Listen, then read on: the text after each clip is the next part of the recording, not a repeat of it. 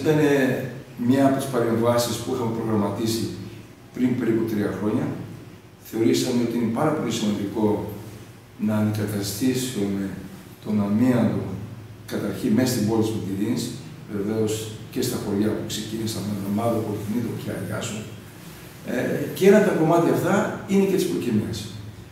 Ολοκληρώσαμε τις εργασίες αντικατάστασης ε, στον δρόμο του αεροδρομίου, μάλιστα πάρα πολύ γρήγορα, και βλέπω ότι οι εργασίες σήμερα και εδώ πάνε πάρα πολύ καλά.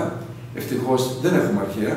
Αυτό μας δίνει δυνατότητα ε, να είμαστε πιο σύντομοι από το δίμηνο αυτό που έχουμε δώσει των παρεμβάσεων, γιατί αντιλαμβανόμαστε ότι είναι σε ένα σημείο πάρα πολύ σημαντικό, κομβικό για τη λειτουργία της πόλης και βλέπουμε ότι πάει πάρα πολύ καλά και θα ολοκληρωθεί αυτές οι εργασίες αντικατάσταση στο Μιάντο, ε, θεωρώ πολύ νωρίτερα από του δύο μήνες. Βεβαίως, παρεμβάσεις θα γίνουν σε συνέχεια και στον Αγιώργη και σε άλλες περιοχές Μητυρίνη. Αυτό είναι το κομμάτι αυτό που αυτή τη στιγμή δουλεύουμε. Όμως η πόλη έχει και άλλα θέματα τα οποία πρέπει να τα λύσουμε.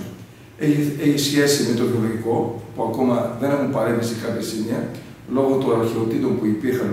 Ε, οι προηγούμενες δημοτικές αρχές δεν θέλησαν να, να μπουν σε, αυτές, σε αυτά τα σημεία της πόλης.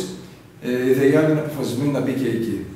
Ε, δεν μπορεί να είναι ενταγμένη στο βιολογικό το 80% της πόλης και ένα 20% που επηρεάζει και το λιμάνι να μην είναι.